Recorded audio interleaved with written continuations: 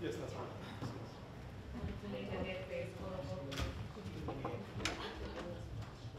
Please.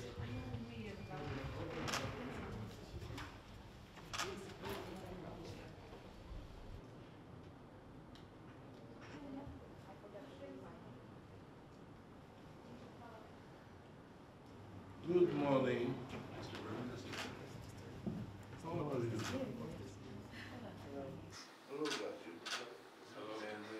Yan.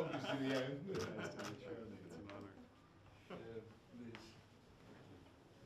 Uh, our team is in Dili, uh, has been for the last two weeks, meeting with the government, with the private sector, and with members of civil society to discuss the macroeconomic outlook for Timor Leste uh, and the policy challenges that are facing the country.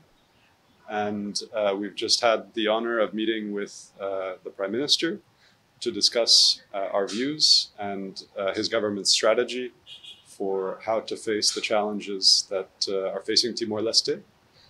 Um, we will be here for the next few days, and we will be issuing a press release uh, next Tuesday with our mission's preliminary findings.